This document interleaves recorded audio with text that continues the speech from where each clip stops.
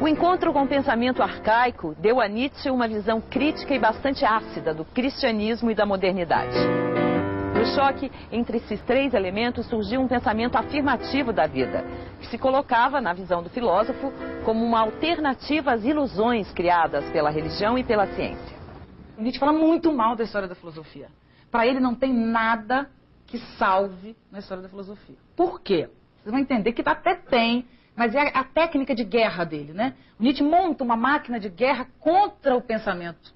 Para o Nietzsche, o pensamento é, é, a história do conhecimento humano é a história da negação da vida, é a história de uma ilusão, é a história da construção de um modelo de homem que não existe e que jamais existirá. Para o Nietzsche, o homem construiu uma imagem de si muito superior ao que o homem consegue ser e corre atrás dessa imagem.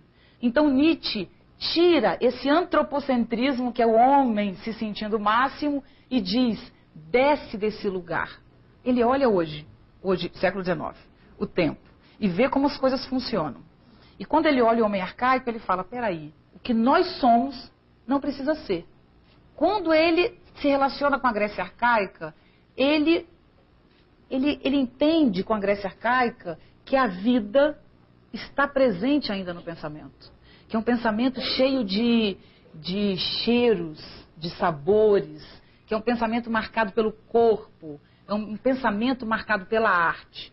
E que esse grande eixo, que seria o pensamento socrático-platônico, que seria o século V a.C., faz um corte muito grande na história do pensamento. Então, se antes desse século V, Platão, que é onde oficialmente começa a história da filosofia, se antes desse período o ser humano se relacionava com a vida como o desconhecimento que a vida é, e tinham um certo pudor em relação à vida, exatamente por se tratar de um desconhecimento, de uma intensidade que muda o tempo inteiro. Ou seja, se o homem antes do século V não tinha, é, não tinha nem o sonho ainda de dominar e controlar as forças da natureza e as forças da vida, de forma geral, a partir do século V isso vai mudar radicalmente. Para o Nietzsche, o Nietzsche exagera muito em torno do Platão. O Platão é até menos menos perigoso do que o Nietzsche pensa. O Nietzsche fala muito mal do Platão.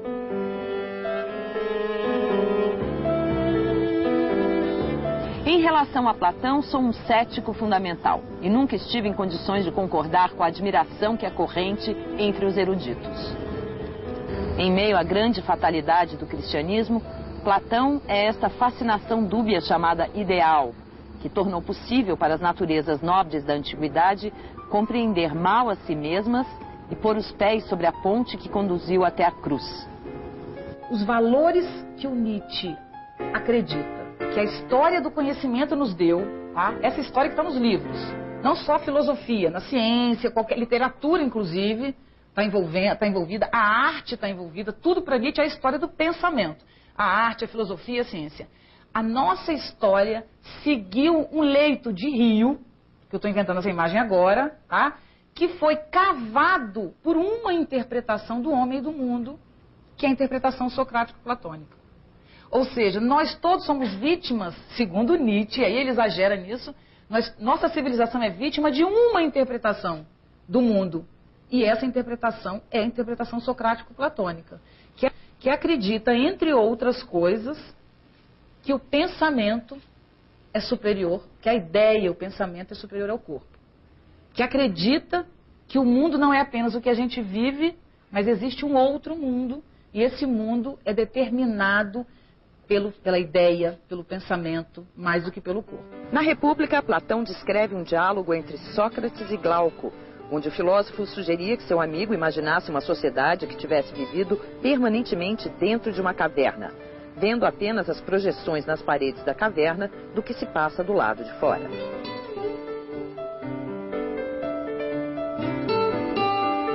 Pois agora, meu caro Glauco, é só aplicar com toda a exatidão esta imagem da caverna a tudo o que antes havíamos dito.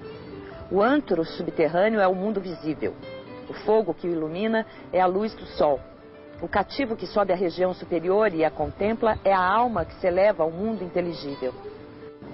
Nos extremos limites do mundo inteligível está a ideia do bem, a qual só com muito esforço se pode conhecer, mas que conhecida se impõe à razão como causa universal de tudo que é belo e bom.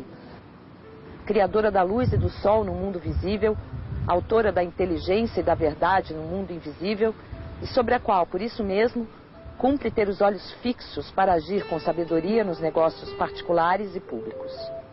Sócrates e Platão, esse pensamento que é um só, né? nessa perspectiva. Eles matam, esse pensamento socrático-platônico, esse pensamento matou a pluralidade, o devir, ele matou um processo extremamente rico de pensamento que existia na Grécia arcaica. Que pensamento era esse? A mitologia grega é uma forma de interpretar o mundo, é uma forma de pensamento. Não é um delírio de gente antiga, é, pré-filosófica, coitadinhos, a mitologia grega. Óbvio que não. A mitologia grega é uma interpretação do mundo seríssima, importantíssima e belíssima, que parte da arte como mediação e não da